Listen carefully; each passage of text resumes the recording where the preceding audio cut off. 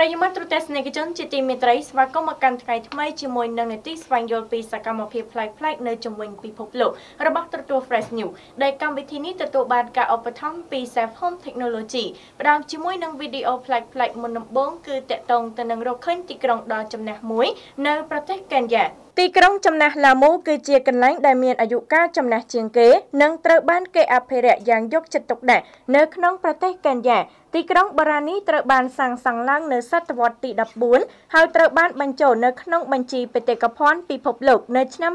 2001ស្ថាបត្យកម្មបានកំណត់លក្ខណៈរបស់វាតាមរយៈការយកត្បូងដែលមានតម្លៃនិងឈើកោងកាងមកធ្វើជាគ្រឿងបង្គំនិងសម្ភារៈសំណង់មានតម្លៃផ្សេងទៀតដើម្បីសាងសង់អគារប្រវត្តិសាស្ត្រមួយនេះឲ្យលេចចេញជារូបរាងដ៏ល្អ អ្នកបុរាណវីតូបានរកឃើញបសឡែនចិននៅក្នុងភូមិកេនយ៉ាដែលត្រូវបានគេជឿថាបានដឹកជញ្ជូនដោយកងនាវារបស់លោកសេងហេនៅក្នុងអំឡុងនៃការធ្វើដំណើរតាមសមុទ្ររបស់គាត់នៅសតវត្សទី15ប្រិយមិត្តទស្សនិកជនជាទីមេត្រីសម្រាប់វីដេអូប្លែកៗទី2គឺតកតងទៅនឹងក្មេងចំនួន2នាក់ត្រូវបានគៀបជាប់នៅក្នុងជញ្ជាំងតូចចង្អៀត ក្មេងស្រីតូចម្នាក់និងបងប្អូនប្រុសរបស់នាង បានគៀបជាប់នៅចន្លោះជញ្ជាំងតូចចង្អៀតមួយដែលមានប្រវែងប្រហែលជា7.15សង់ទីម៉ែត្រខណៈដែលពួកគេកំពុងលេងប្រឡែងគ្នាយ៉ាងសប្បាយរីករាយនៅស្រុកយ៉ាងស៊ីនខេត្តហូប៉ៃភូមិកណ្ដាលប្រទេសចិនក្រុមជួយសង្គ្រោះបានទៅដល់កន្លែងកើតហេតុនិងបានរកពិធីជួយរំដោះពួកគេឲ្យមកនៅតំបន់សវត្ថិភាពវិញ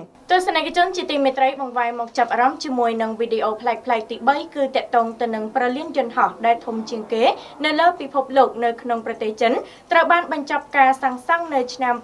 2019ខាងមុខនេះ។ អាកាសយានដ្ឋានអន្តរជាតិប៉េកាំងដាក់ស៊ីងនឹងត្រូវបញ្ចប់ការសាងសង់នៅថ្ងៃទី30ខែមិថុនាឆ្នាំ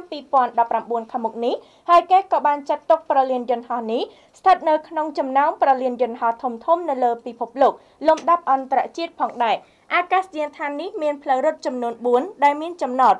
268កន្លែងតំបន់ស្ថានីយ៍ចំណត7សែនម៉ែត្រការ៉េនិងមានចម្ងាយ50គីឡូម៉ែត្រដែលមានទីតាំងនៅភាគខាងត្បូងទីក្រុងប៉េកាំងនៅឆ្នាំ2025អាកាសយានដ្ឋានត្រូវបានរំពឹងថានឹងមានអ្នកធ្វើដំណើរឆ្លងកាត់ប្រមាណ72លាននាក់ជារៀងរាល់ឆ្នាំប្រលានយន្តហោះមួយនេះមានទំហំសរុបជាង1លានម៉ែត្រការ៉េហើយវានឹងក្លាយជាប្រលានយន្តហោះដំបូងគេរបស់ពិភពលោកដែលមានសេវាស្ថានីយ៍ផ្លូវរថភ្លើងល្បឿនលឿន។